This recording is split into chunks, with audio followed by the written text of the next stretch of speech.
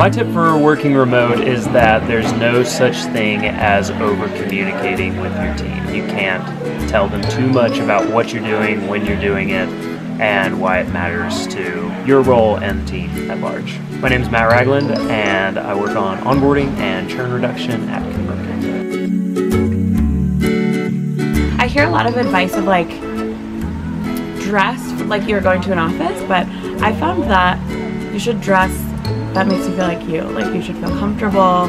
Um, the best thing about working remotely is that no one can see you beyond here, which means that you're only dressing for yourself. I sometimes I rarely do my makeup, um, and I feel really comfortable around my team doing that in a way that I wouldn't in an office. Um, and I think that is one of the best joys. And now that's me. Like for other people, it might be wearing makeup or getting dressed up, but you're allowed to do that because remotely, it's just for you. I'm Nicole St. Germain. I'm on the customer success team at ConvertKit. My tip for working remote successfully is don't ignore the power of video conferencing. I'm Newbill, I'm Director of Success and Sales at ConvertKit. My tip is never, ever, ever run out of coffee.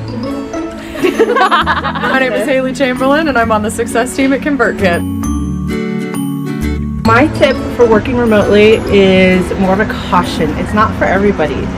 So if you haven't started working remotely, like consider your personality and what you like and if it's something you would really enjoy because it's not for everybody and that's okay. My name's Renee and I work on the success team.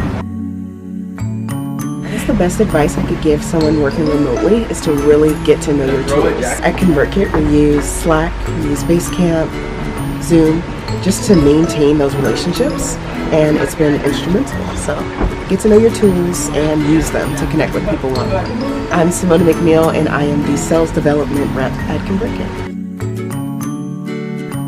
A tip for working remotely don't be an extrovert.